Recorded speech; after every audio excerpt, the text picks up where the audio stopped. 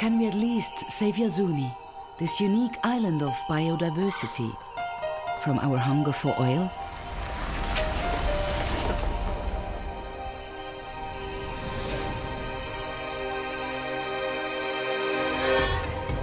Fifty-seven percent of the government revenues come from oil.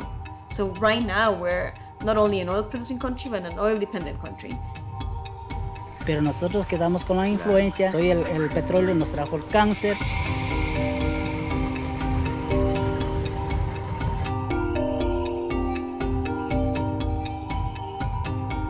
Kochen und Essen ist eine Möglichkeit, um Familien oder auch Leute, die nicht zur Familie gehören, zusammenzubringen. Und ich unterstütze eigentlich den Traum vom Dschungel Disneyland. Und da kann man sagen, ui, das ist ganz schlimm. Aber lieber das Dschungel Disneyland als Bergbauopfermine. Weil das ist eigentlich die Alternative. Eh, si hubiéramos estado en la petrolera aquí ya no hubiera habido nada.